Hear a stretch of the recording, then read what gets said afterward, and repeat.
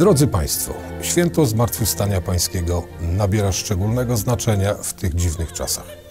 Daje nadzieję na lepszą przyszłość, bez skrywanych pod maseczkami uśmiechów oraz serdeczny uścisk dłoni.